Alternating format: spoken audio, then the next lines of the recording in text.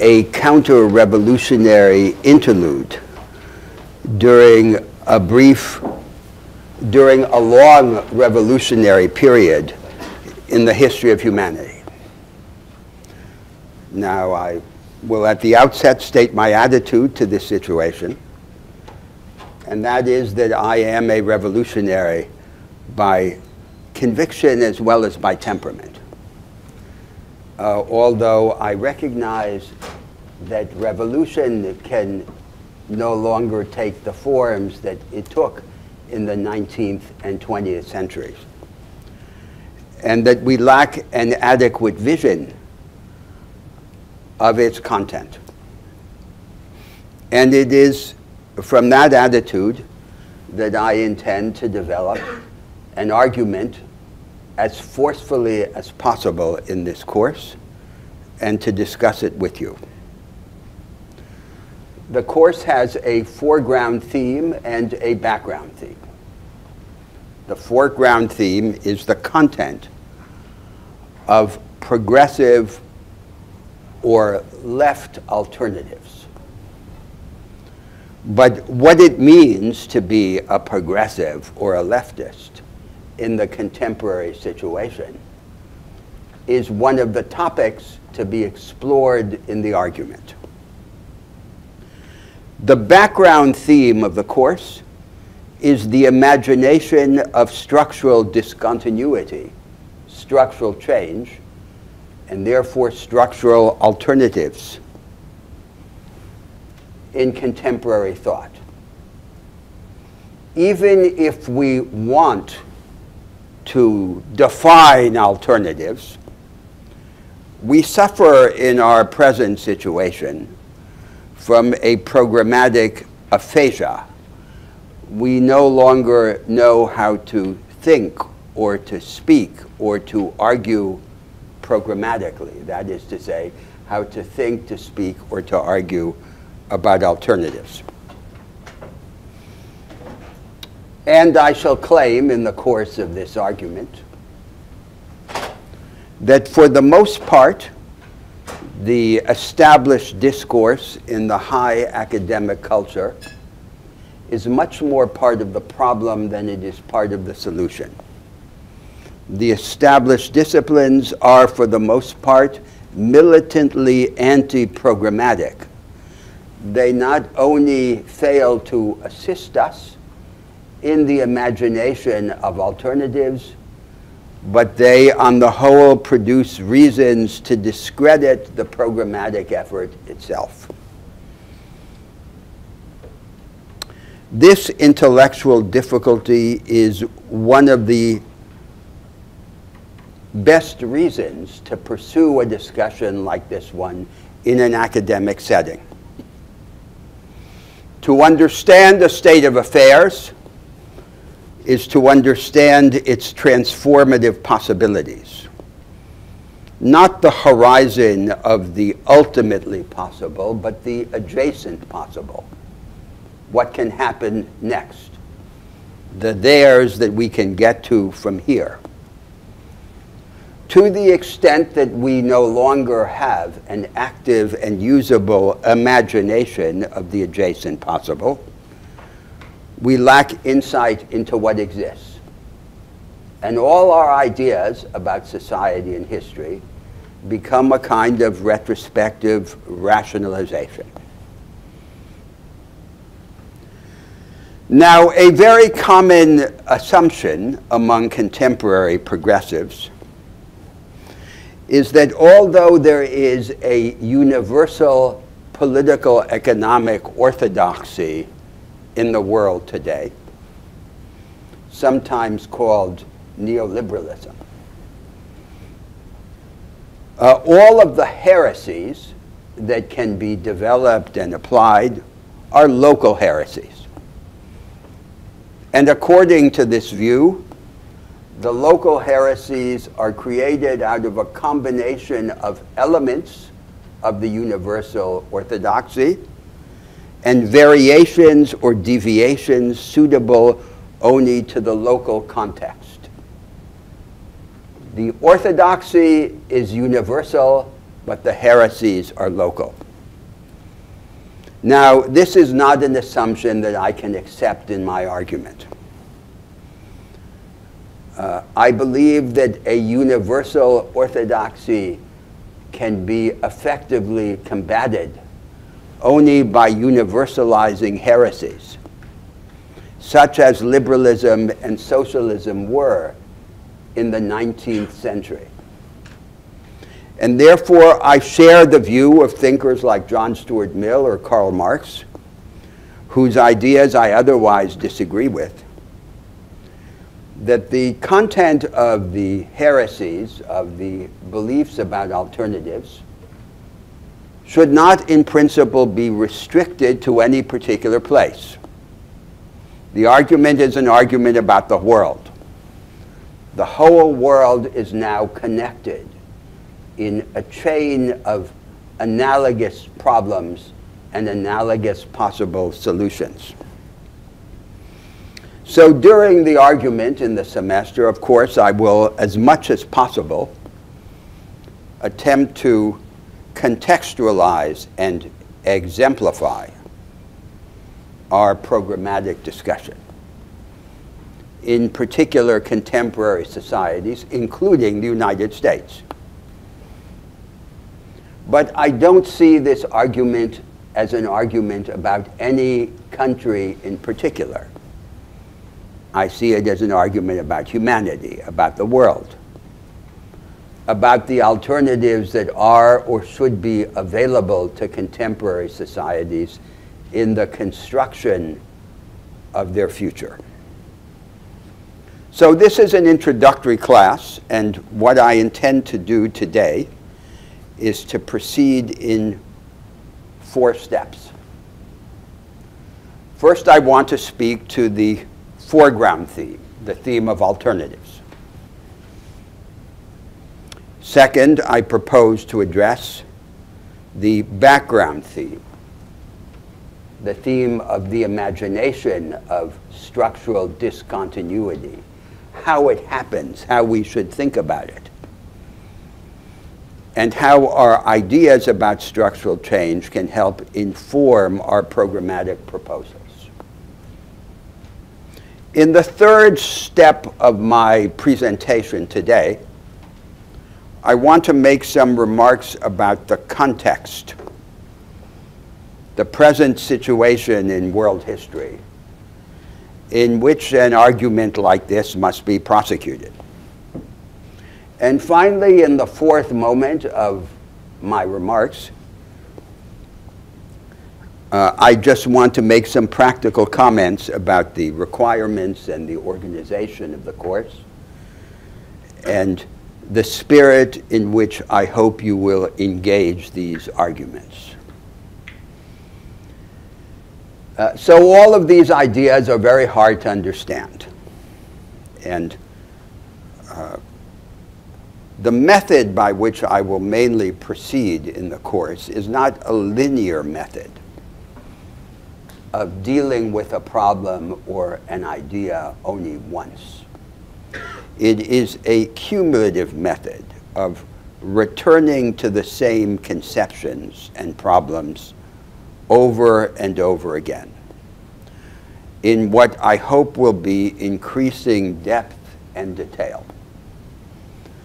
Uh, and so there is no idea that I will mention today in this introductory presentation to which I shall not return, probably many times over during the course. Already in today's introductory presentation, I'll stop at different points and ask for your, your comments or questions, but you should also feel free uh, as I proceed to raise your hand, and then uh, at some moment I'll stop uh, and ask for your, for your intervention.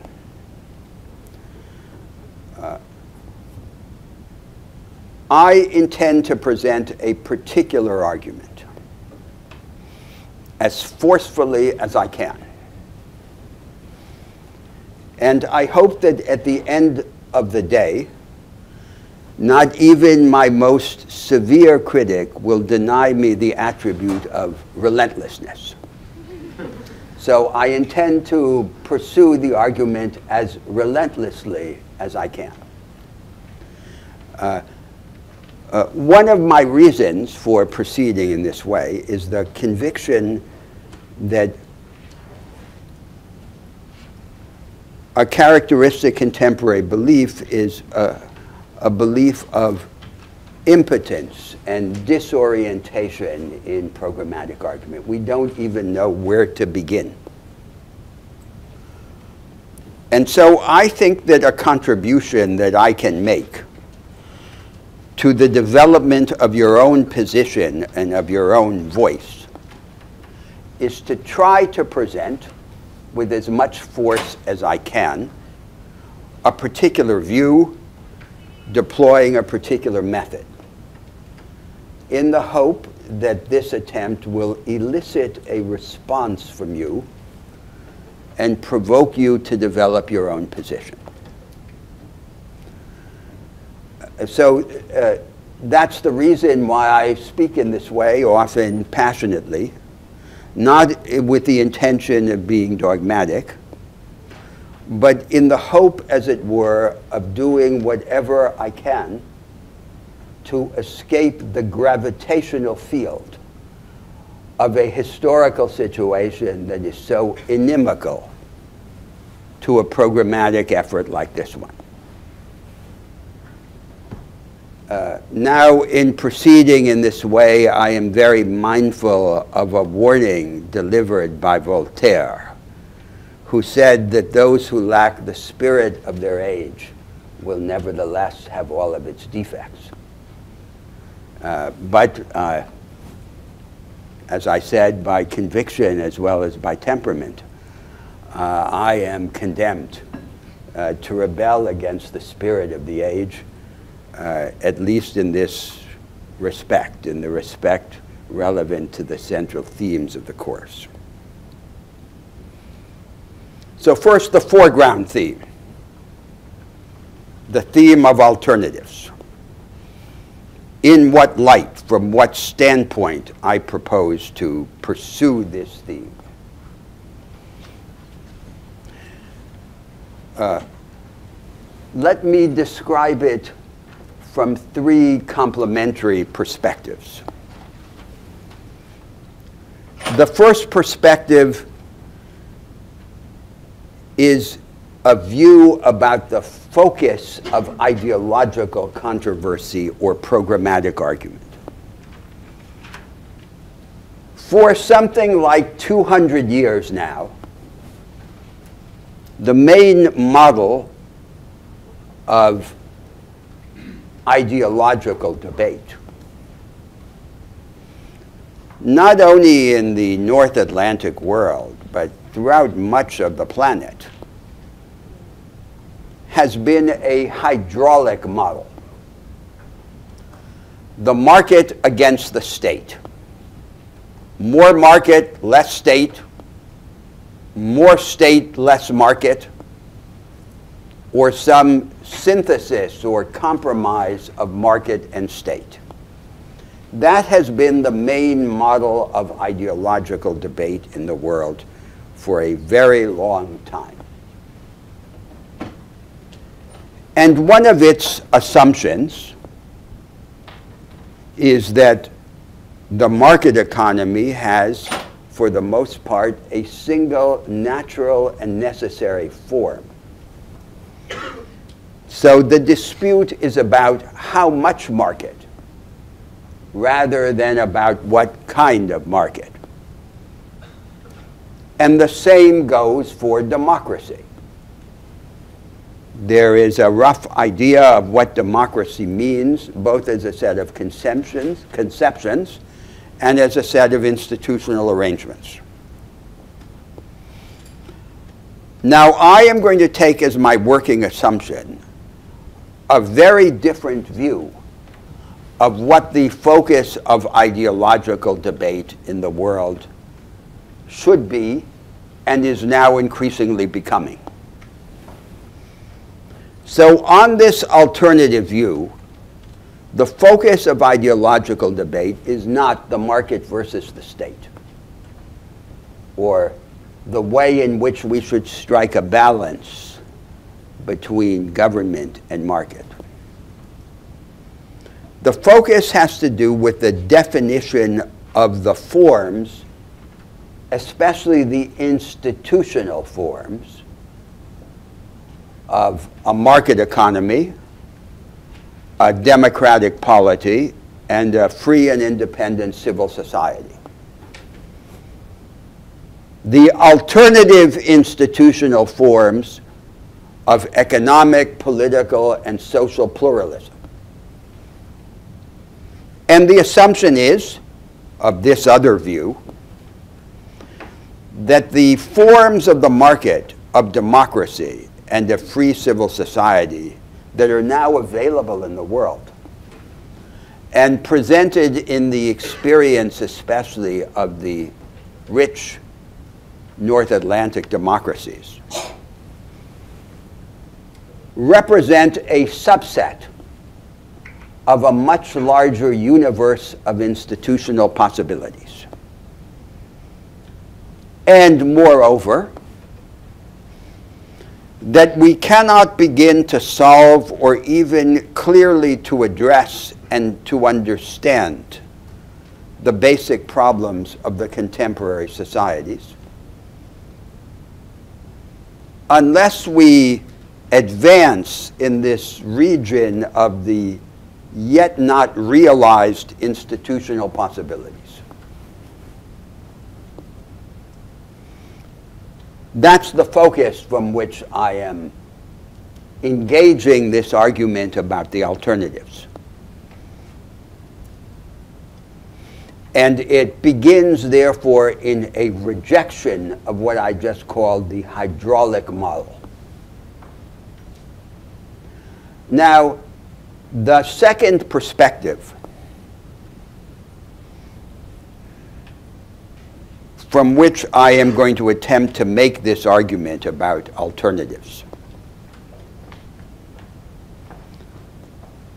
has to do with a view of the target or the antagonist in the programmatic argument.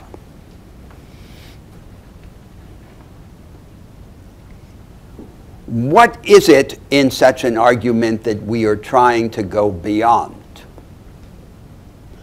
Now, for a long time, and at least since the middle of the 20th century, the aftermath of the Second World War, the default position of progressives in the North Atlantic world, and indeed in much of the whole world, has been institutionally conventional or conservative social democracy. And institutionally conservative social democracy, in the eyes of the world, is most clearly represented by Scandinavian social democracy.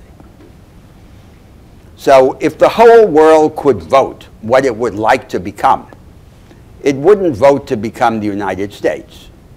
It would vote to become Sweden. But not the real Sweden, mythical Sweden of this idea of uh, humanized social democracy, with the market economy humanized by compensatory redistribution through tax and transfer, progressive taxation, and social entitlements. Uh, and now uh, you could say that if there is a hegemonic project of the enlightened governing and academic elites of the rich North Atlantic democracies. That project is the effort to combine American style economic flexibility and European style social protection within a barely or modestly adjusted version of the inherited institutional arrangements. The arrangements for the organization of the market economy, of democratic politics, and of independent civil society. That is the hegemonic project. Now, a thesis that I want to develop and defend in the course of these arguments is that none of the basic problems of the contemporary societies can be solved or even addressed within the limits of this inherited institutional framework. So I'll give you three examples, and I don't want to say uh, almost anything about them because I'll have occasion to return in much greater detail to all of them later on in the course of our arguments.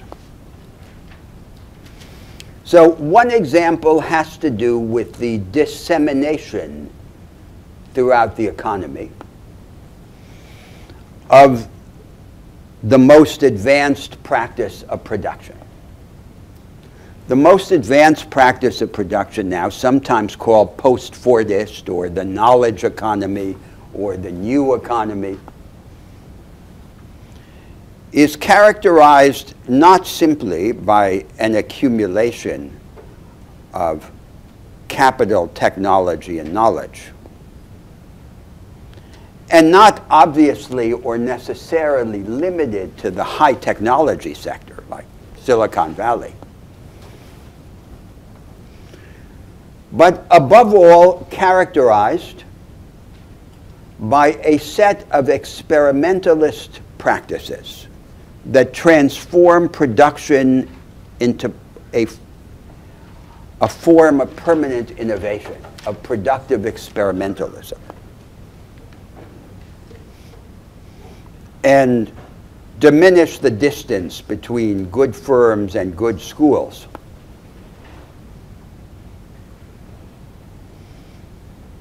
And in principle, it seems that this advanced productive practice should be applicable to most or even any sectors of production.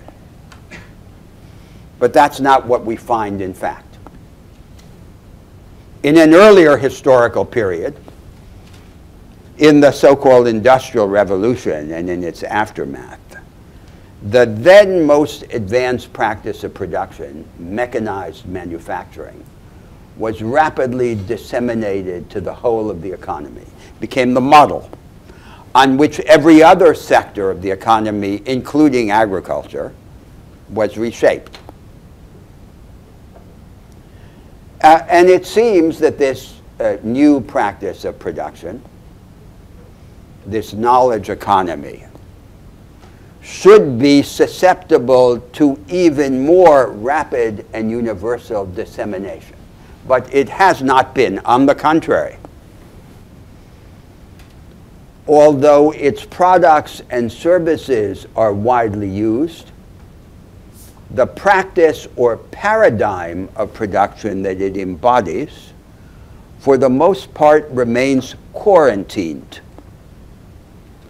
in vanguards of each national economy, weakly linked to the other sectors of the economy, and excluding the great majority of the labor force.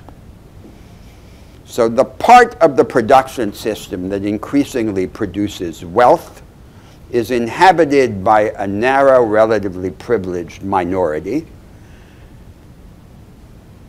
And the rest of the population is increasingly confined to what you could describe as the limit. At the limit is some kind of make work or the declining forms of industrial mass production.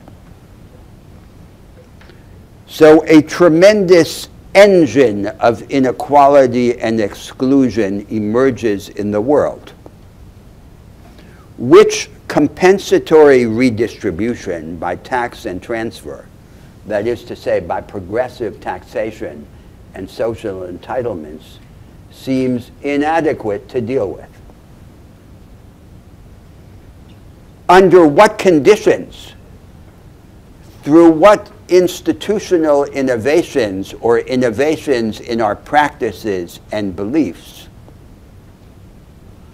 could we bring about a dissemination of this advanced practice so that a large part of the population could participate in its work and in its development. It seems that we would need to begin to experiment with the institutional form of the market economy. Not just to have less of a market or to regulate the market, but to reinvent the market. Now, the idea of the reinvention of the market can seem to you uh, enigmatic, an abstraction. But let me give you a couple of examples from American history so that you understand more tangibly what is at stake. Uh, among the formative contests in the early history of the United States in the first half of the 19th century were alongside the struggle about slavery, the struggle over agriculture and the struggle over finance. So, uh, in the early 19th century, the conservative political economists believed the same thing that Karl Marx came to believe. Namely, that agrarian concentration was inevitable in the evolution of so-called capitalism. The formation of uh, large properties which would later become what we now call agribusiness, and the emptying out of the countryside. But the Americans rejected this view in the uh, first half of the 19th century. They distributed the lands on the agrarian frontier under the Homestead Acts, uh, and they organized a whole institutional system of partnership between government and the family farmer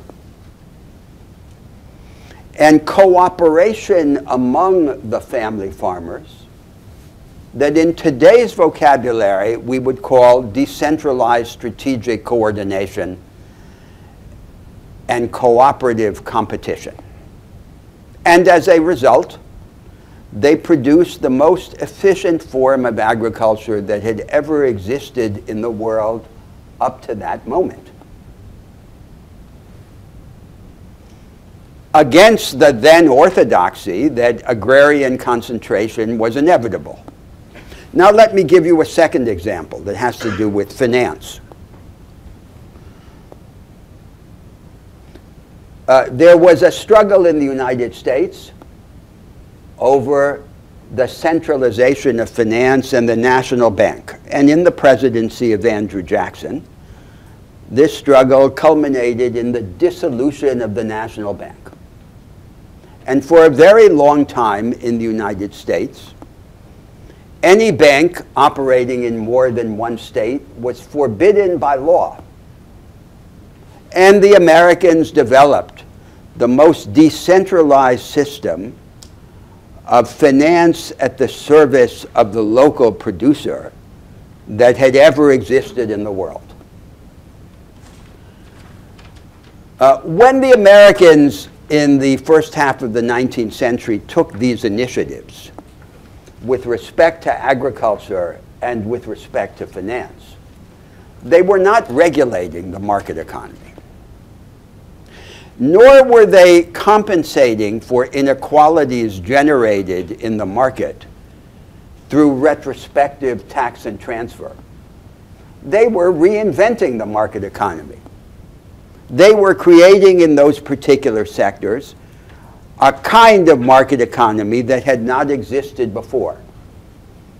And they were doing it through institutional and legal innovation. And these initiatives were decisive, just as decisive as the struggle over African slavery to the fate of the American Republic. Now, with respect to this uh, example that I just mentioned of the dissemination of the advanced practice of production, it seems that the same issue, uh, the same kind of issue arises. To organize the dissemination of the advanced practice of production, it would be necessary to do something like what those early 19th century Americans did with respect to agriculture and finance. That is to reinvent the market economy in certain ways through institutional innovations. Uh, now let me give you a second example uh, and say something much more briefly about it the practical basis of social solidarity or cohesion. Under institutionally conservative social democracy, which I just described as the default position of the progressives,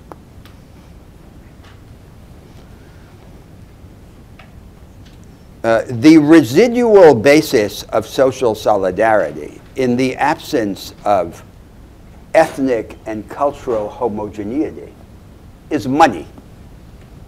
Money transfers organized by the state. But money seems far too weak a social cement to perform this task of assuring social cohesion. It seems that the only adequate basis of social solidarity is direct engagement of people in one another's lives, responsibility to take care of other people beyond the boundaries of one's own family. And that money transfers organized by the state through progressive taxation and social spending may be unnecessary but are far from being a sufficient condition of social solidarity. Now let me give you a third example. The third example has to do with the relation between crisis and change in history and the implications of this relation for the organization of democracy. So one could have the following view that I want to argue out in different ways later in the course. All the democracies that now exist in the world are to a greater or lesser extent what you might call weak democracies. They are democracies that make it hard for democratic politics to innovate in the structure of society except in the presence of a major crisis. So under these democracies, crisis, typically in the form of economic ruin or of war, is the enabling condition of change. And the lesson of this weak democratic politics is no crisis, no change.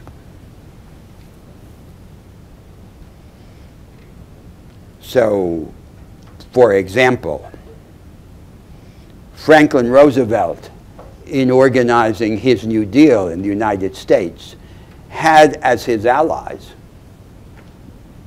a vast depression and a world war.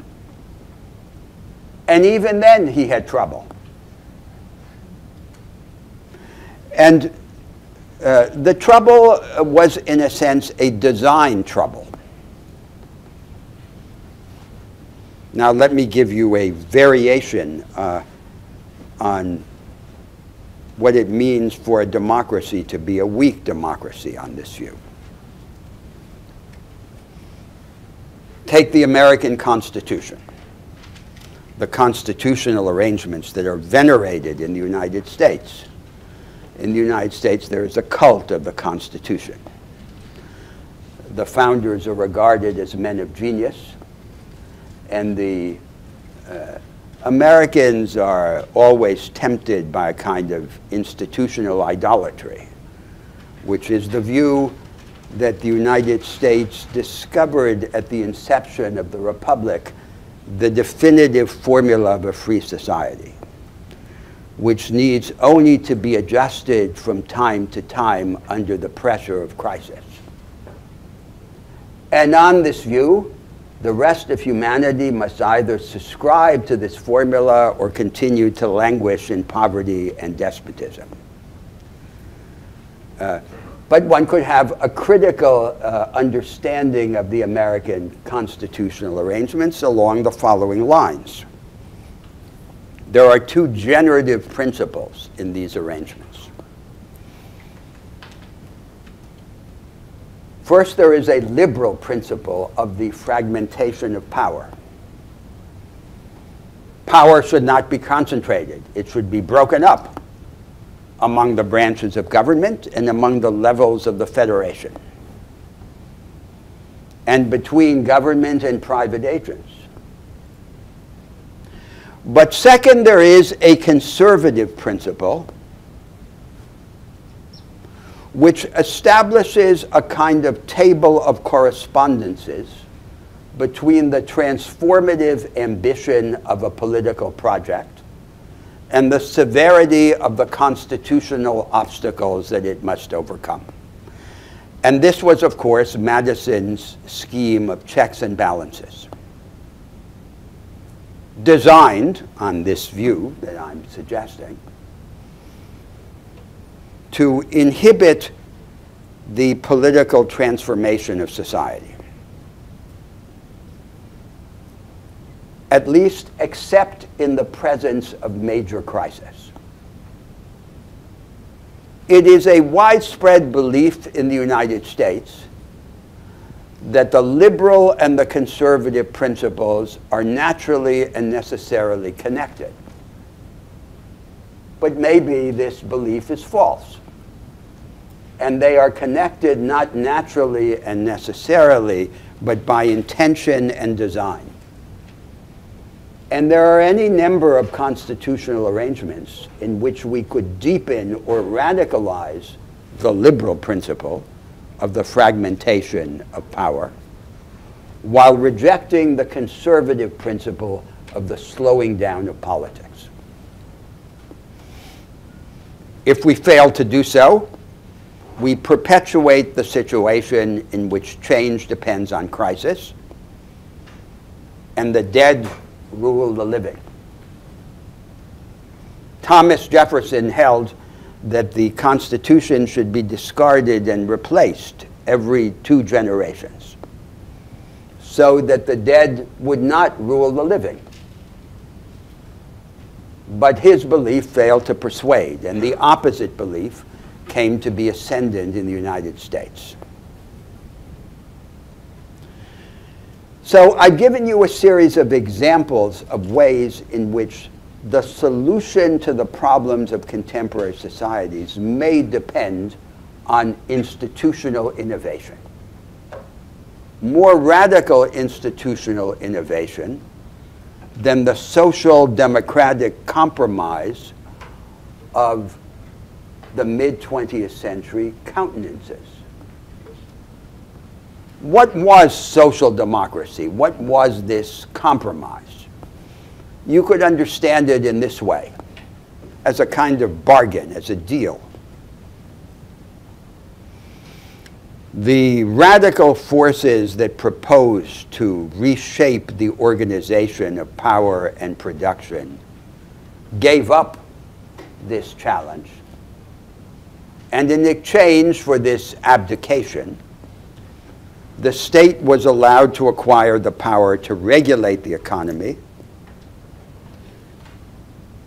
to manage it countercyclically, and to attenuate its inequalities through retrospective tax and transfer, progressive taxation, and social spending. And that then is the horizon for the most part of contemporary politics, including contemporary progressive politics but it may not be enough. It may not be good enough. To deal with the fundamental problems of these societies. Now, when we begin to think of structural change beyond the boundaries of social democracy, we immediately have a problem that is related to the assumptions of modern thought. And the problem is that the dominant traditions of social and political theory have led us to believe that fundamental change must be wholesale or systemic change. So there's something called capitalism. It has a built-in content. We either manage it or replace it. And if we can't replace it, if the attempt to replace it is not feasible or too dangerous, then what's left to do is to manage it and to humanize it. And thus the characteristic impulse of institutionally conservative social democracy, which is pietistic rather than transformative. But this impulse depends on the assumption that I've just stated, namely the assumption that structural change is necessarily wholesale change. That we can't have a transformative practice that is piecemeal and fragmentary, but nevertheless cumulative and therefore capable of achieving radical outcome.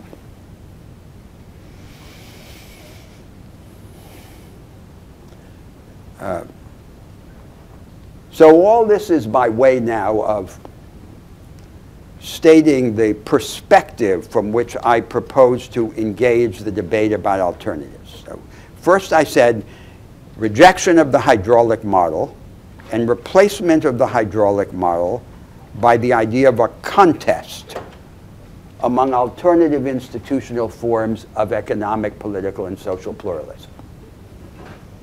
And second, I described a view which says that the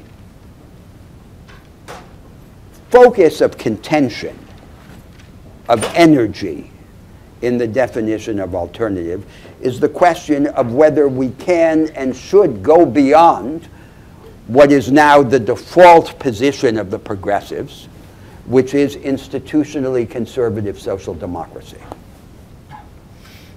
Now, before I go further and state a third perspective complementary to these two, let me stop because I've said quite a lot and ask whether you, you already like to engage me or question me about this initial presentation. Yes?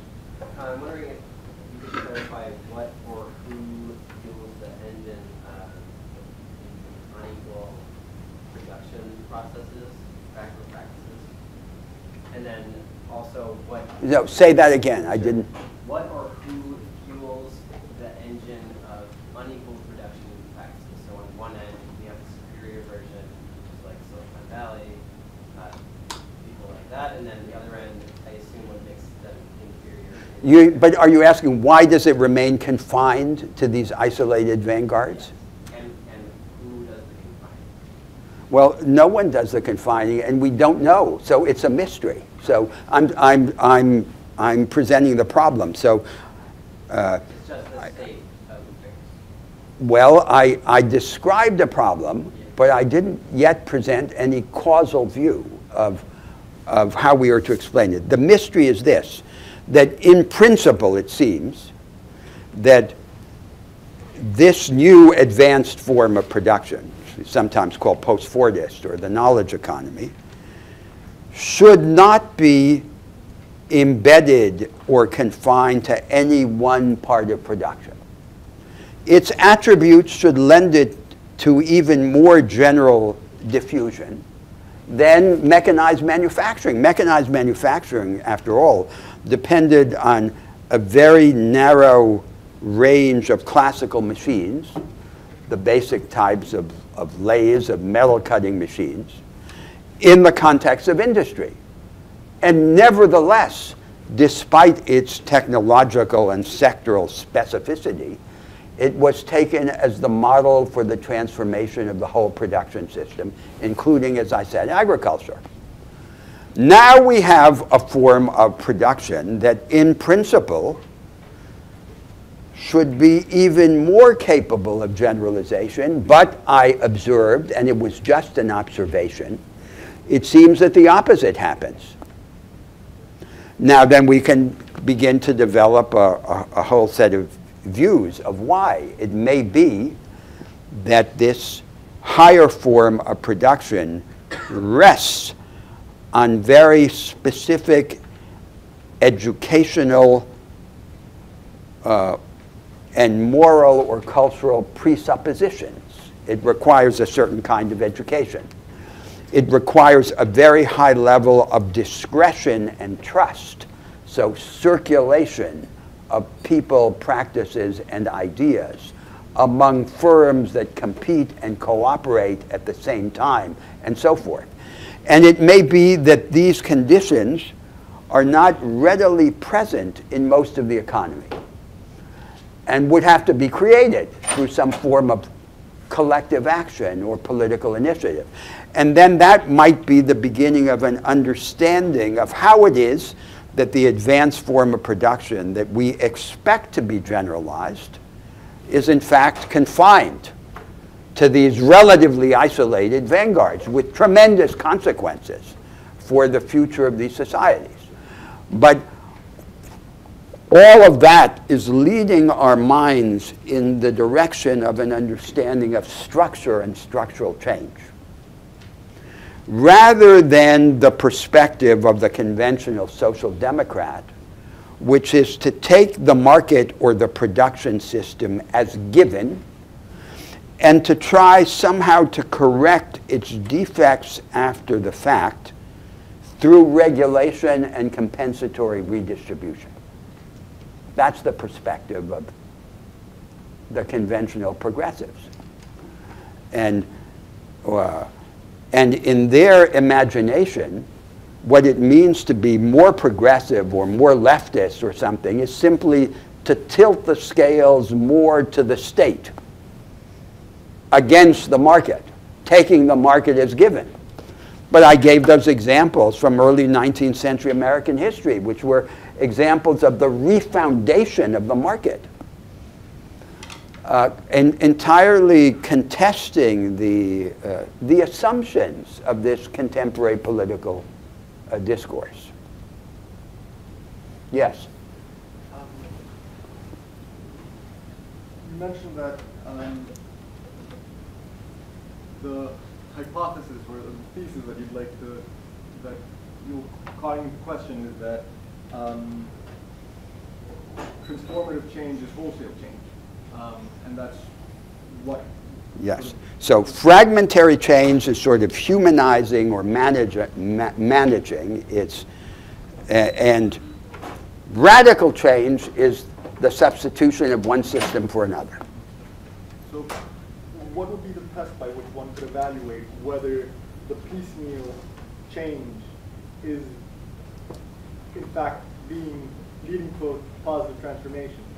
Um, that it changes, it, it, that it reshapes the, the routines and conflicts of society, and especially its routines and conflicts with respect to the economic, political, and cultural resources by which we create the future within the present. So it, it, it transforms the field of conflict. Let me give you an example. So take uh, Keynesianism and paper money and demand management as a major policy, institutional, and ideological innovation of the 20th century. Before that, there was the so-called gold standard.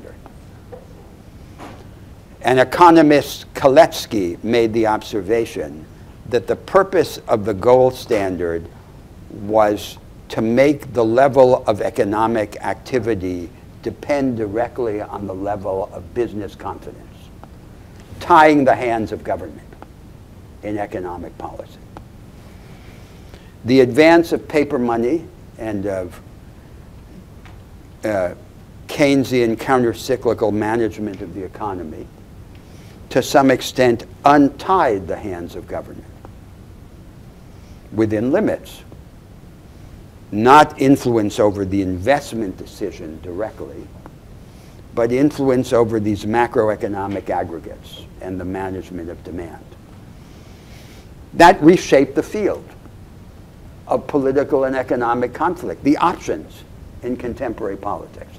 And that's what happens all the time in history.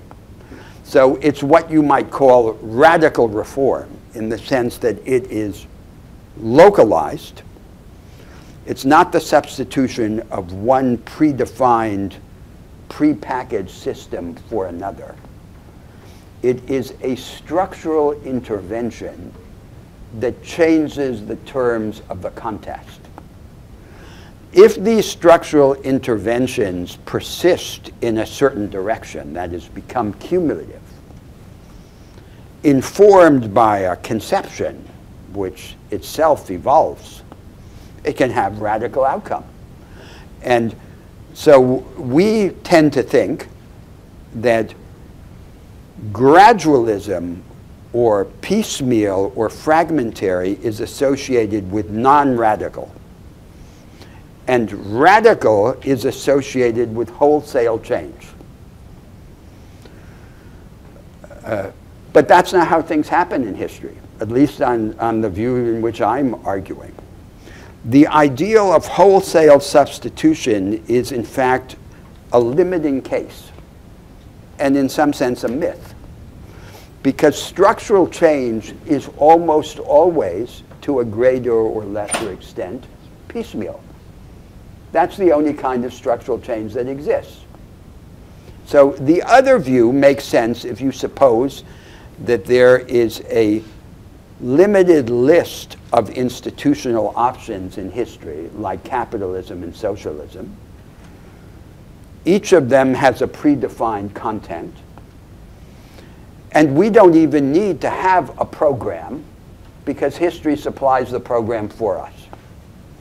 Now, I'm going to want to argue with respect to what I call the background theme of the course, that all of these views are false. And now, uh, this is a discussion that has a very direct bearing on political experience over the last 100 years. Uh, a very common situation in the world today is that uh, the conservative social democrat and many countries in the world are governed by conservative social democrats,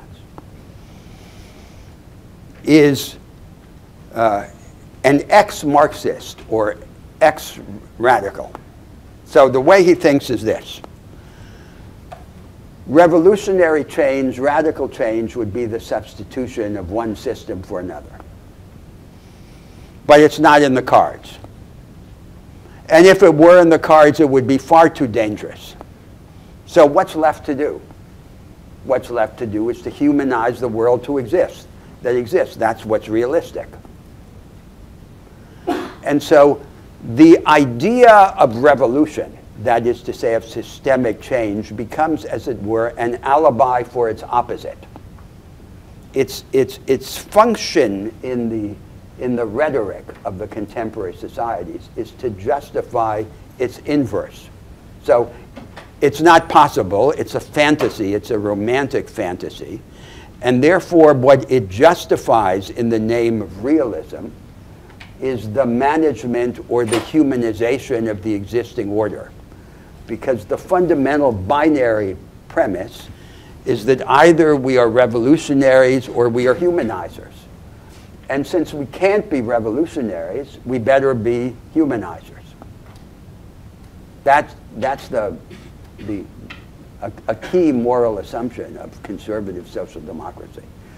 Uh, and uh, in a way, uh, much of the whole argument that I want to develop and discuss with you here is against that idea. That's, that's a crucial connection between the social theoretical assumptions and the political beliefs. Yes? from the reading, but in terms of the stifling of imagination, um, it seems to be that much of the imagination is stifled by the different hegemonic powers that exist also in the world. So if South Africa, for example, wants to create a new property regime, they run the risk of sanctions and all kinds of things. And so unless BRICS and new hegemonies come through and embrace um, more imaginative ideas, you know, what is the viability? So uh, there is, for example, the view that globalization, the existing form of globalization, uh, imposes a, a, a, a radical constraint on alternatives. Uh, Now, I think one has to approach this belief with caution and begin to dissect it. So, if you look at the world, at the form of globalization that, has emer- that is emerging in the world, for example, the form of the World Trade Regime, as one of its components, it's true that it imposes certain constraints or tilts the scales in one direction or another. Nevertheless, these constraints are relatively loose. And we know, as a matter of fact, that they admit of a great variety of response. So, in the second half of the 20th century, the South American economies and republics responded to those constraints in a way very different from the East Asian tiger economies in China. And it was the same globalization but they took a completely different path with respect to any number of issues, like, for example, the dependence on foreign capital. Now, at the same time, it's true that if these alternatives were to develop, at some point they would begin to hit against these constraints and require a change of the global rules. But the energy to press for this change in the global rules would have to come from the struggle to develop the national alternatives. So that would be the first step. So, an example. Under the WTO treaties, uh, the World Trade Organization, which are in different respects repeated now in the major regional agreements, like the, the Trans-Pacific Partnership. Uh, what is required of the participants in the trading system is not simply adherence to the market economy in the abstract, but to a very particular version of a market economy. For example, a version of the market economy that under the label subsidies outlaws all of the forms of strategic coordination between government and private firms that the, that the countries that are now rich use to become rich. So it's a kind of institutional maximalism and what would be in the interest of a world more hospitable to alternatives would be an institutional minimalism. The maximum of economic openness with the minimum of restraint on the possibility of institutional experiments, including experiments about the arrangements of the market economy. And we know that such an international minimalism is possible because it in fact characterized the regime that preceded the WTO, the regime of the GATT. Uh, and that's just an example of, of how there we, we can begin to organize an interplay, a dialectic between our ideas about alternative globalizations and our ideas about national alternatives. But what seems to be not correct is to take globalization as a generic alibi for political prostration. and to say we can't do it because the global order won't allow it. It will punish us. Uh, contemporary history seems to show the opposite, that under the, the, the same global regime, countries have taken very different directions. Now, there's a third perspective uh, from which I propose to engage the argument about alternatives. And the third perspective has to do with the, the, the underlying inspiration, the, the normative conception about the goal of the progressives. So now a very common uh, belief is that the defining ideal of the progressives is equality. And not just equality of opportunity, but some form or variant of equality of circumstance or, or of outcome.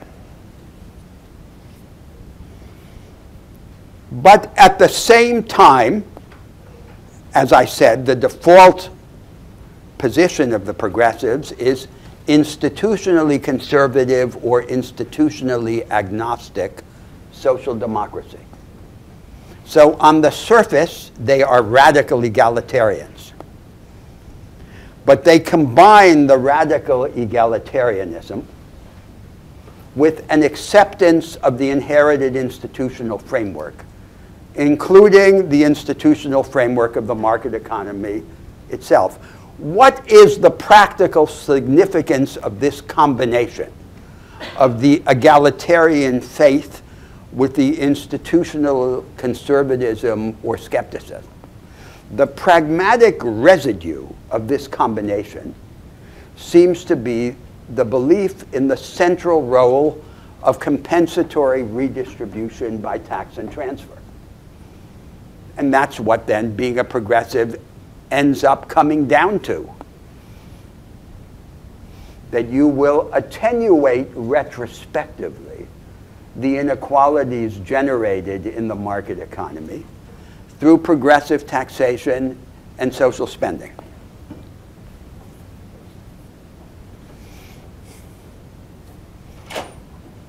So at first they seem to be very radical in their egalitarianism. But the practical content of the egalitarianism ends up amounting to very little. So now take, for example, the theories of justice, of distributive justice that are prominent and have been for the last several decades in the Anglo-American Academy. You could see them as a kind of philosophical or pseudo-philosophical gloss on the practices of compensatory redistribution under conservative social democracy. That's their real agenda. And the whole philosophical contraption is really being uh, uh, built and put in motion in order to justify these rather homely and limited practices of compensatory redistribution. Now, this was not always the view of progressives and leftists. This is a relatively recent view. And I want to place it in historical context so I can explain better the standpoint from which I am engaging the argument. I am rejecting this view. And I'm taking a position which is much closer to what I take to be the classical or older view of the progressives and the leftists. Uh, certainly throughout the 19th century and even uh, well into the 20th.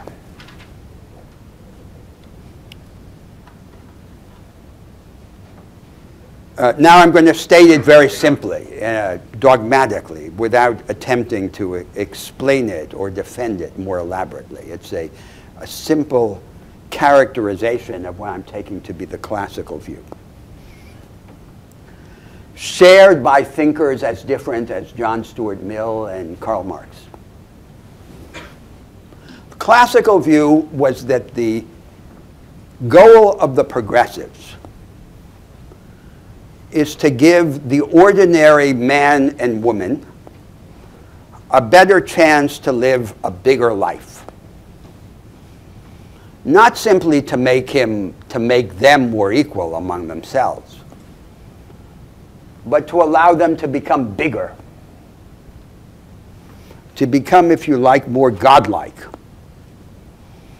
And if we want to use a provocative theological language, we could say that under this view, the goal of the progressives was never to humanize society, it was to divinize humanity. It was to make people bigger, on the belief that they become more human by becoming more godlike. A life with larger scope, with greater capabilities, with higher intensity for everyone, not just for a tiny elite of heroes, geniuses, and saints. This was the revolutionary belief of the progressives. And then their commitment to equality on this interpretation was subservient to that faith. An entrenched inequality, a scheme of entrenched social division and hierarchy, would not allow the little to become big. And therefore it must be overcome, but it must be overcome in the interest, in the service of this higher goal.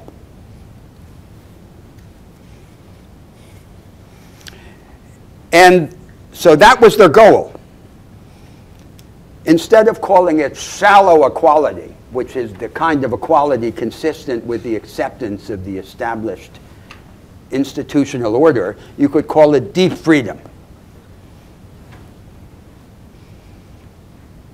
The method of the contemporary progressives is institutional abdication, agnosticism, skepticism, conservatism. The method of these classical progressives or leftists was commitment to a dogmatic institutional formula. So the liberals had a system of rights which they believed would both liberate humanity and establish the conditions of the material progress of society. And so did the socialists, like the Marxists. Each one had his dogmatic formula. But they were committed to a radical institutional reconstruction of society. That was the common methodological element of the progressive. So what did it mean to be a progressive up to this contemporary period that I just described? What it meant was to be committed to the goal of bigness, of greatness for the ordinary man and woman, and to reject the present institutional organization of society as incompatible with the pursuit of this goal.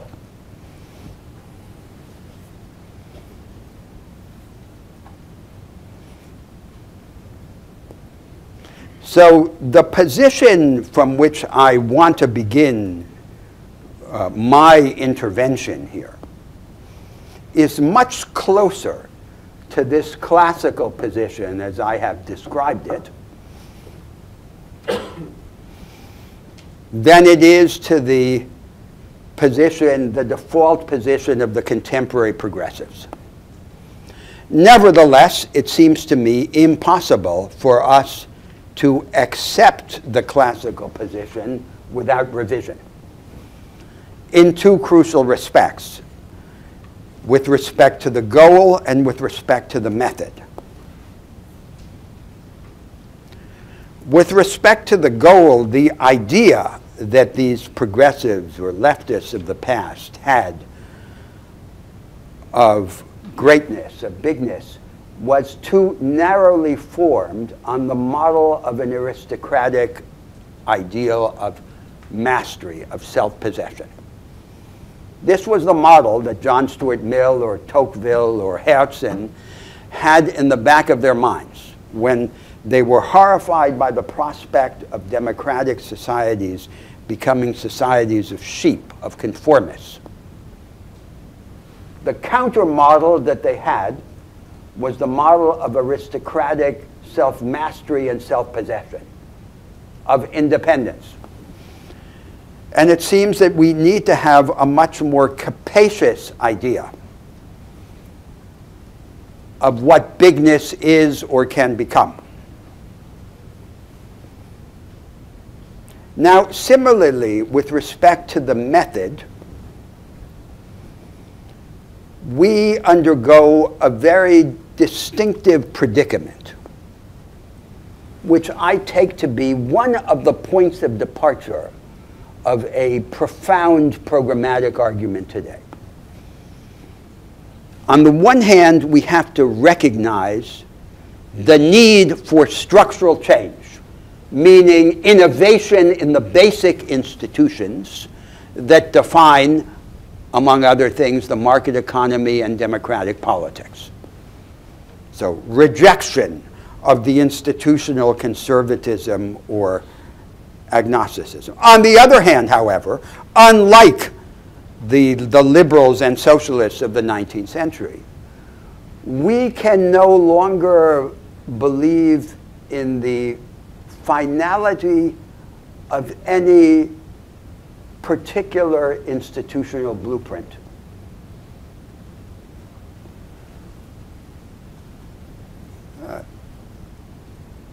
So our problem could be defined in the following way. We must have structural alternatives without succumbing to structural dogmatism. And how can we do that? How can we share in the structural ambitions of those 19th century liberals and socialists without sharing in their fetishizing of some definitive institutional blueprint. So, for example, we might have the belief, among others, that the institutional arrangements that we need must have, uh, among their attributes, the attribute of organizing and encouraging experimentalist innovation and therefore as well lending themselves to experimental innovation. That is, organizing their own revision so that we learn along the way. So that without tying ourselves to a single path, we can, uh, we can develop the alternatives in our practice.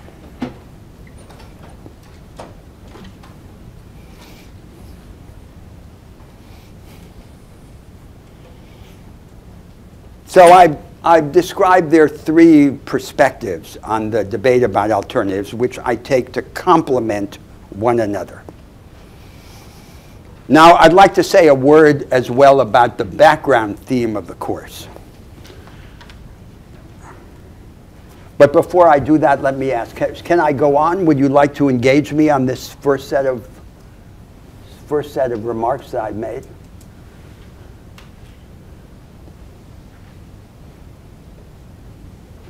Yes. I guess I was wondering uh, to what degree your argument about what has changed in terms of what caused uh, the kind of political, social, and economic factors led to the change in the progressive uh, kind of vision towards the social democratic model. Um, I guess I just wonder how uh, important your understanding of that historical change is to what you propose as a radical well, this is like the causal question that was asked about the confinement of the advanced form of production. And uh, as I want to suggest in my next set of remarks, we have a problem here in this argument. The problem is that the programmatic arguments depend to some extent on a way of thinking about structural change how it happens. But the social sciences, as they are now established, provide us with no reliable way of thinking about structural change. Uh, so what should we do? We can't just wait for uh, another conception of genius we have to, as they say, rebuild the raft on the, on the high sea along the way. Uh, nevertheless, in response to your question, I'd say the, the beginning of an understanding of how this constraint arises could be made up of the following elements. And I'm just going to cite three elements without developing a larger theoretical view of how we should think about their relation to one another. So, first element is this. Uh, when there is a set of innovations that, for example, takes advantage of a technological opportunity in the evolution of humanity, the tendency is to assimilate that innovation in the form that least disturbs the predominant interests and preconceptions in that historical circumstance. So, for example, going back to the discussion of the new economy, the knowledge economy,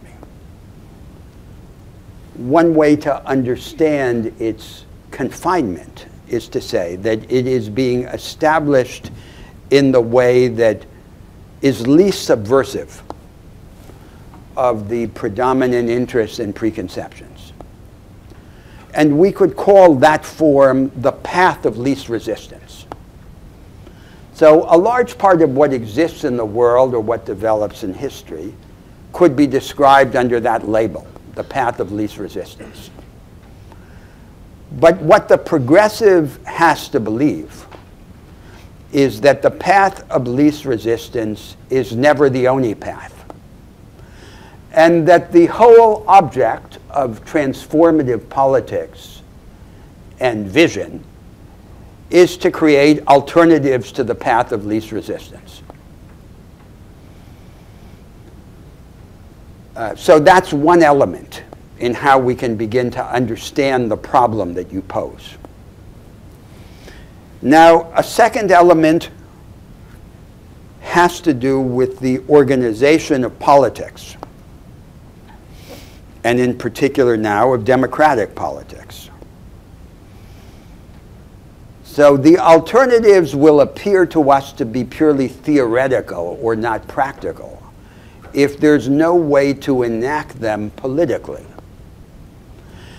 And therefore, a vital factor in our power to create alternatives to the path of least resistance is how our politics are organized.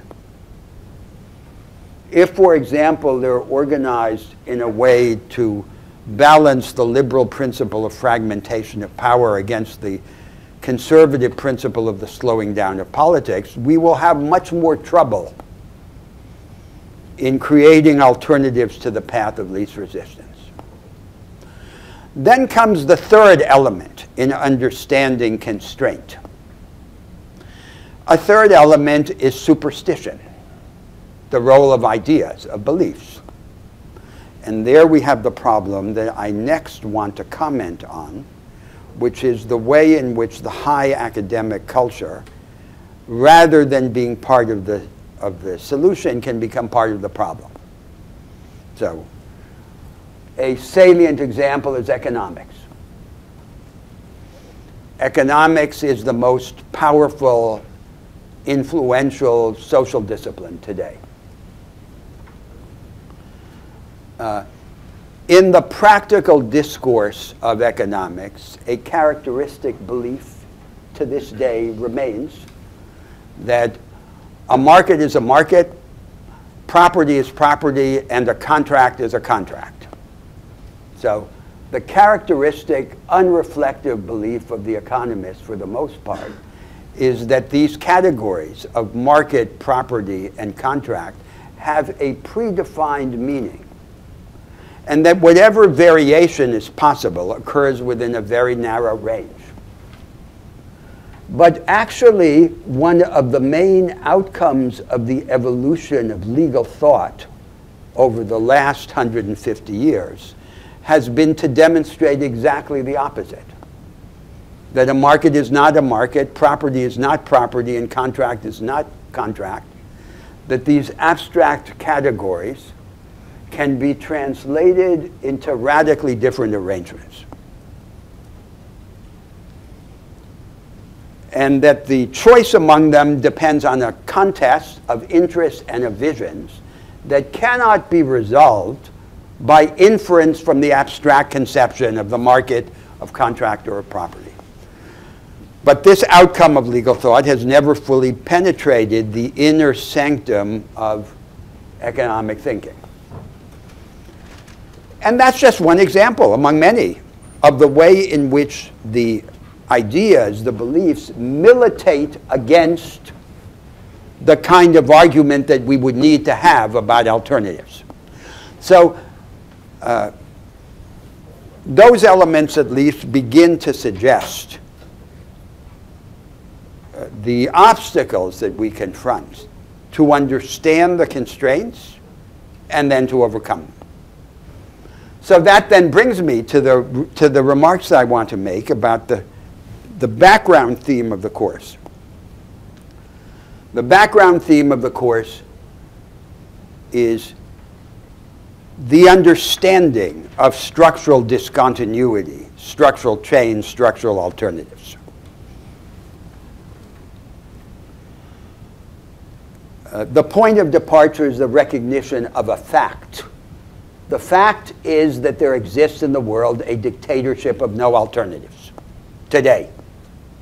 There is a very narrow repertory of living institutional options for the organization of different parts of social life.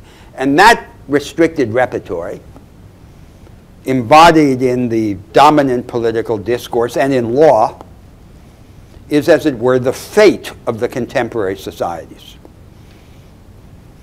a rationalization of what I just called the, the path of least resistance.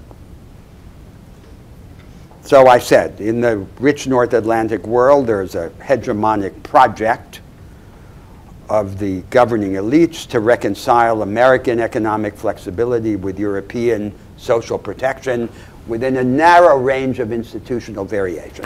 And if you look at the rest of the world outside for alternatives, it, they don't seem clearly to exist other than state capitalism, often authoritarian state capitalism.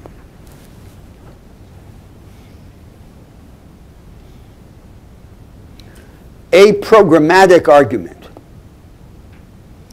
an argument about alternatives, has two crucial attributes. The first attribute is that it marks a direction. And the second attribute is that it selects in the historical circumstance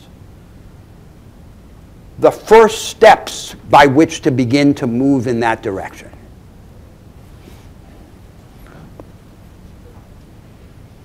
So this view of a programmatic argument represents a response to a characteristic dilemma in programmatic arguments in the world today. The dilemma is the following, and it's one that uh, will, will haunt the argument of this course.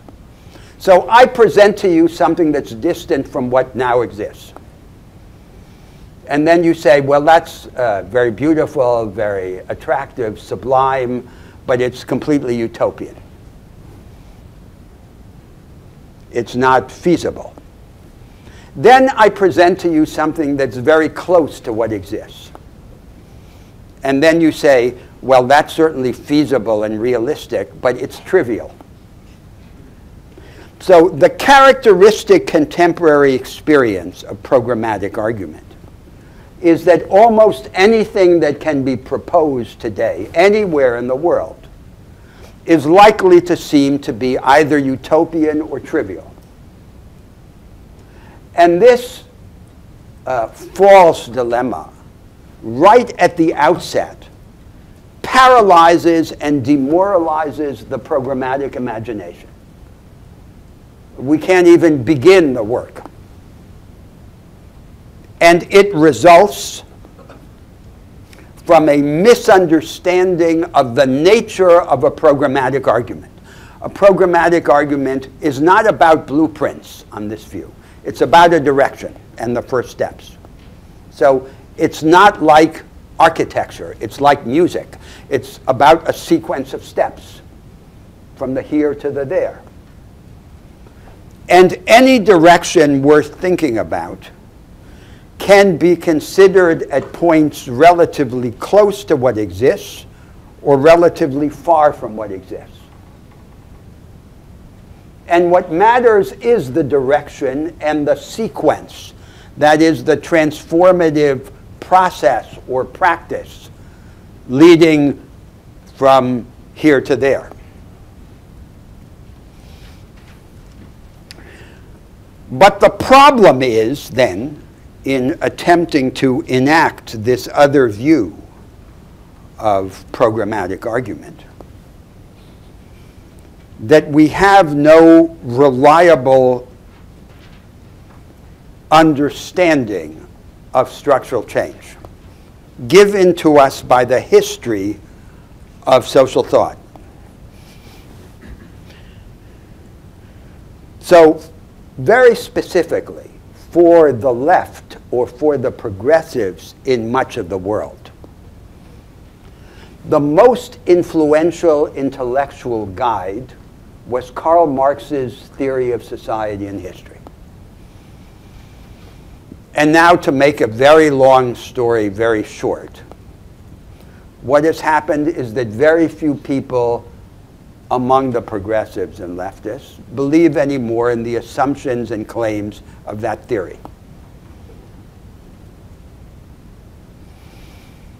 That there's a closed list of institutional regimes in history that each of them is an indivisible system, that there are laws of transformation driving them forward in a foreordained historical sequence, and so forth.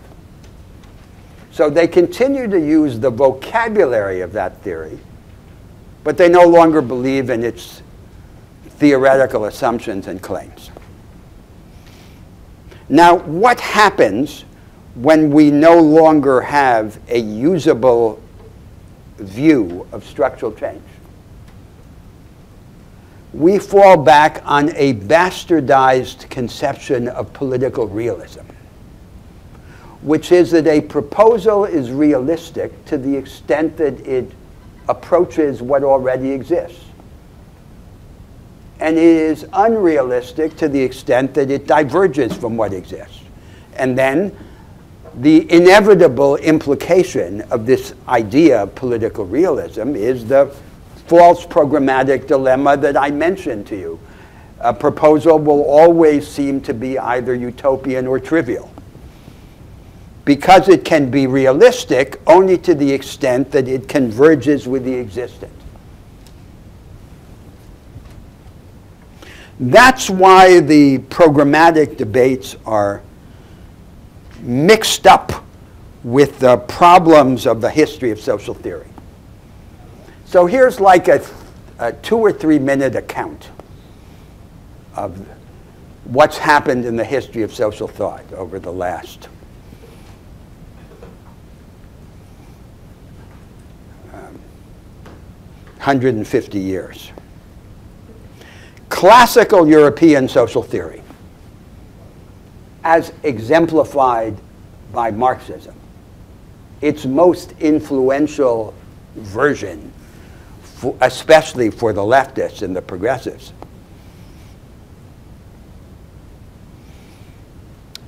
had an idea of structural change. Its focus was the understanding of the structure, the decisive institutional and ideological structure of a society and its transformation.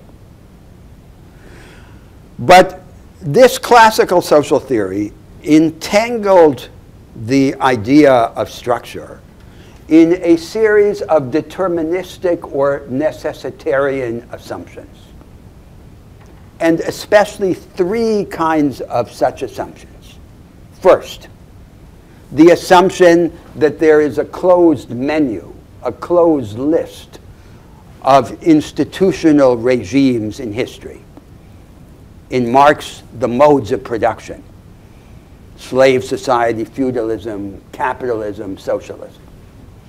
The second assumption was that each of these regimes is an indivisible system. So all of it stands or falls together. The practical political implication is that all politics must be either reformist or revolutionary. If it is not the substitution of one system for another, it must be the management or humanization of a system. And the third assumption is that there are a set of historical laws governing the succession of these systems in a foreordained plan in history. And then, in fact, any attempt at programmatic argument is illusory because the real program is provided to us by history of which we are the relatively unconscious agents.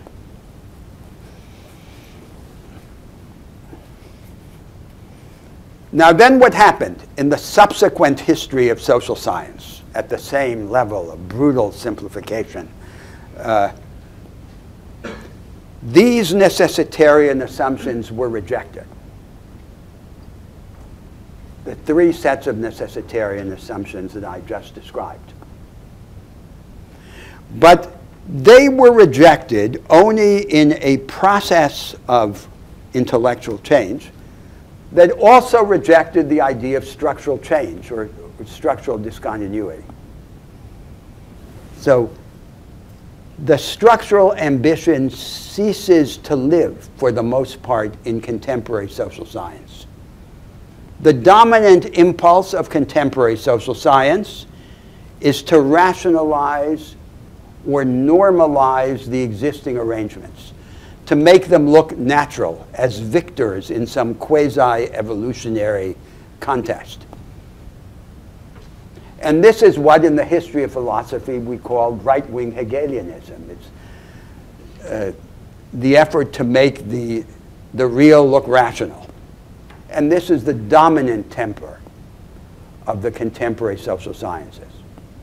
So on one side, we have a structural vision that is tainted by necessitarian illusions. And on the other hand, we have a science that frees itself from these necessitarian illusions only to the extent that it abdicates the structural vision altogether what we do not have provided to us in the history of social thought is a developed view of structural change that does not depend on these necessitarian illusions. So what are we to do? As I say, are we to, to postpone the programmatic argument until we have an adequate idea of structural change? We can't. So I take it that the task of programmatic argument is an incitement to theoretical invention and that we have to make do with fragments of this other approach created along the way, pillaging the existing social sciences for what they can teach us without accepting wholesale their assumptions and implications.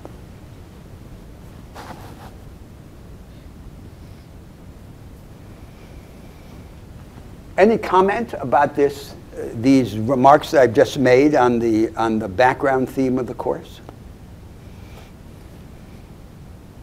So you see the relation, the close relation between the foreground theme and the background theme.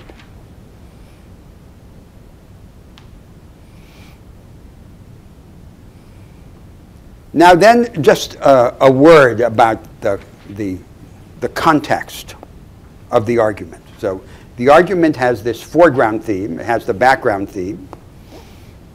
It takes place in a particular context.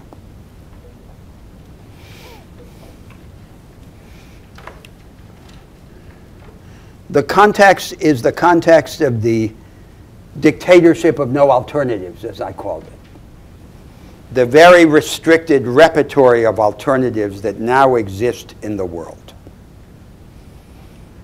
And the poverty of the programmatic discussion is represented in the discourse of each society.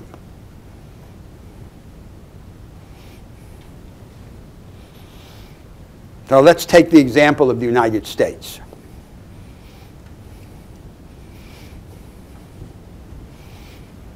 Uh, of the situation of the progressives in American politics.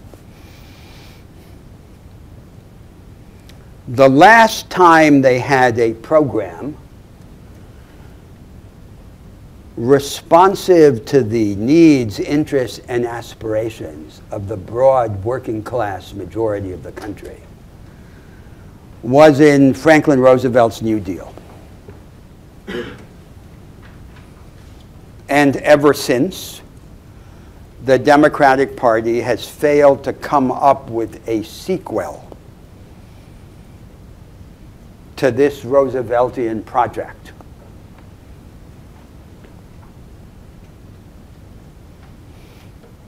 the last president of the United States who regarded himself as a disciple of Roosevelt was Lyndon Johnson. But he formulated no such sequel. One of his characteristic programs, for example, the War on Poverty, was addressed to a, targeted part of the population, unlike Roosevelt's programs, which attempted to lift the poor as part of lifting up this broad working class majority. And what happens then in this vacuum of programmatic imagination? Let's take a characteristic example, one among many. The American progressives lacking a structural idea, lacking a program of institutional innovation, genuflect to progressive taxation. And progressive taxation then becomes, as it were, a symbol of whose side you're on. You defend progressive taxation. Now, there's an enormous amount of empirical evidence suggesting that the aggregate effect of progressive taxation is relatively small. In comparison with initiatives that involve the organization of economic opportunity and educational capability and therefore influence the primary distribution of economic advantage as distinguished from its retrospective correction. So take the following enigma, which should be startling to the American progressives. The tax system that on paper is most progressive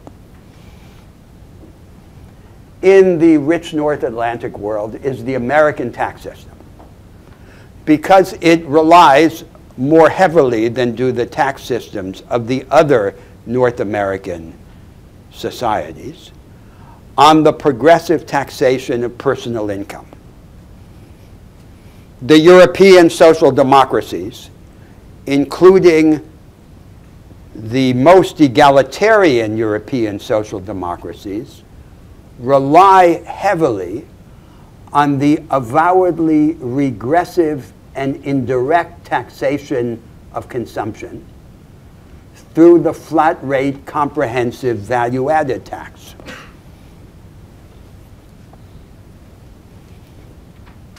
How are we to understand this mystery? I'm not treating this problem as more important than all the others. All I'm doing is giving an example of what I'm calling the consequences of the programmatic vacuum. So I would argue for three principles. The first principle is that what matters most with respect to the distribution of economic advantage is the organization of economic and educational opportunity and capability. Everything that shapes the primary distribution of economic advantage, as opposed to its after the fact correction. That's the first principle. So, for example, we take Sweden, the mythical Sweden, adored by the world. It went through several decades of struggle over economic and political power. And then it developed a system of taxation and social spending as the epilogue to this settlement and innovation. And it's as if the world wants to have the epilogue without undergoing the prior narrative, which was decisive. The second principle is that with respect to the whole regime of taxation and social spending, that is the budget on both the revenue raising side and the spending side. What matters most in the short run is not how progressive the tax system is. What matters is the overall level of the tax take and how it is spent. So the basic reason why the tax and spending regimes of the European social democracies are more egalitarian than their American counterpart is very simple. That the European societies raise a lot more in taxes and spend that money redistributively. So in the United States, the aggregate tax take is less than 30% of GDP. In the European social democracies, it's over 45%. That's a huge difference. A regressive but neutral tax, a tax that is neutral with respect to relative prices, like the VAT, the value added tax, allows the state to raise a great deal of revenue with minimum trauma to economic arrangements and incentives and minimum disturbance to relative prices. So you raise a great deal of money mitigating the economic confusion and cost. And then you spend the money redistributively. Now, then comes the third principle. If you're really serious about using redistributive taxation in its accessory role, you could easily do it if you had a real political will to do it. Once you organize the tax system around the taxation of consumption, you could superimpose on the regressive taxation of consumption through the VAT an individualized and steeply progressive tax on individual standards of living. You take the aggregate income of the individual, all the income, not just wage income, but returns to capital, and you subtract from the aggregate income invested saving. And that difference is what the individual spends on himself. And that difference could be taxed on a steeply progressive rate, as steeply as you want. There's no limit. The sky's the limit.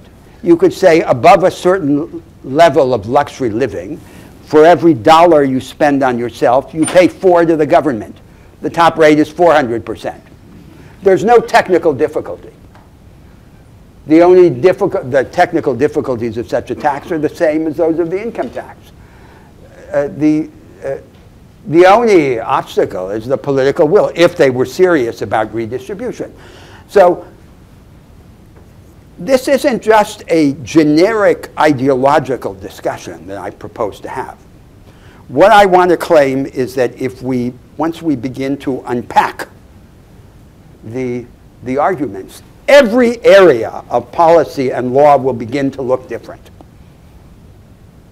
And we can only understand the present form of discourse as resulting from an outright abdication of the attempt to develop alternatives.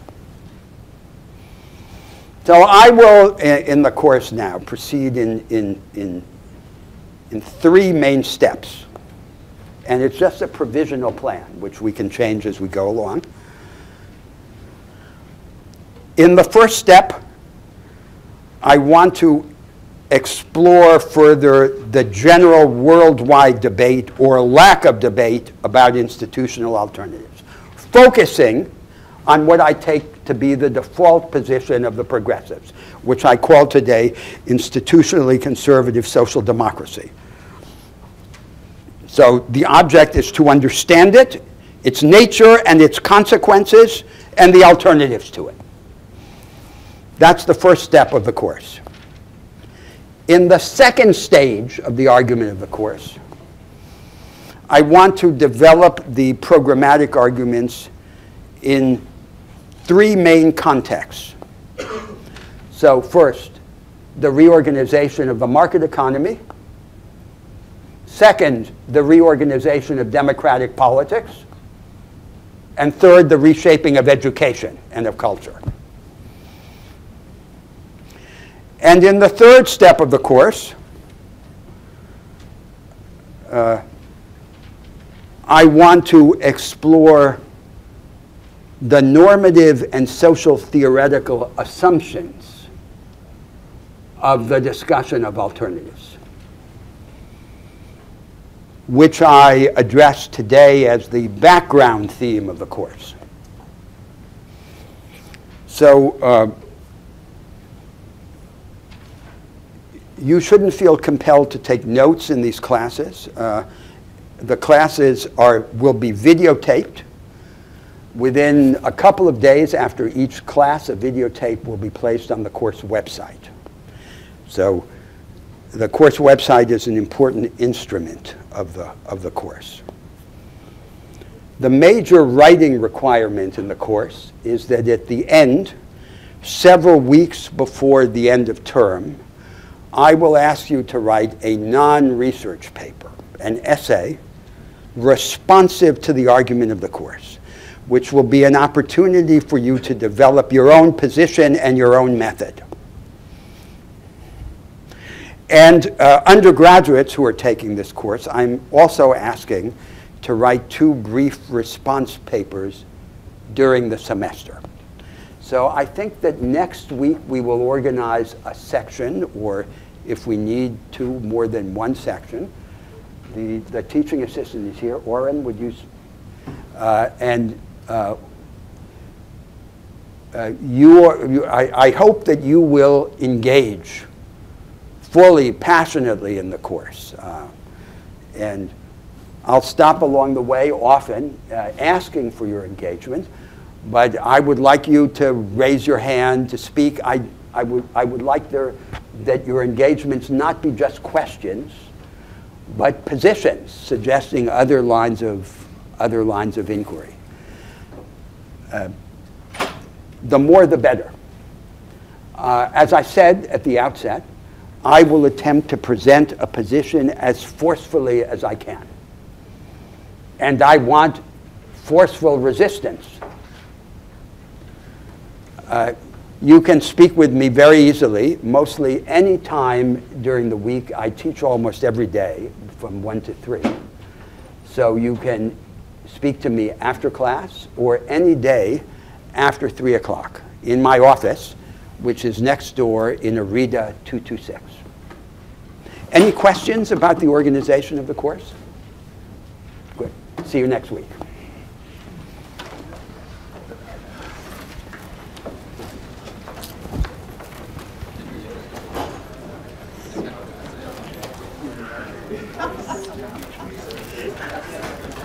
Yes. I'm not sure if I can take this course because Yeah. uh, Yes. But I just flew in last night, wasn't able to shop the other course Yes. yesterday, and I was wondering what are the differences between the two. Which cour, which Um, other course? The one on uh, legal fraud from Mondays. Well, the course I taught yesterday. Well, it's a different course. So all, all the courses, I'm teaching four courses.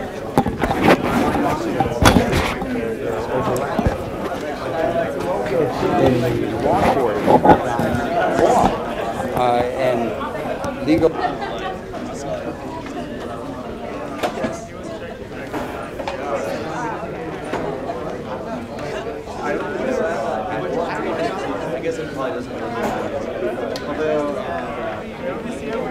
Yeah, yeah, yeah. That the main person back in North America for that guy named uh, remember it's like Harry Fair or Fair, but um, he's singing chicken, of course. I'm I would imagine. Oh, that's Um, but it seems cool because he's that, but then also he's going up to, he's like he's really good, like from Jerusalem. So, so I don't know, it's like, it's like, based on like his Is that what you're drinking? actually like Chris Grayland's what? You might say, I don't know, like, I'm not yet exactly like who's sponsoring each other. So, so, I don't know. It seems super cool though. I think I'm gonna just you end up taking Yeah, no, I think it'll be it'll be chill. Um, so, yeah, I'll see you around and let's stuff there at dinner too. Right? Yeah, let's get around and eat.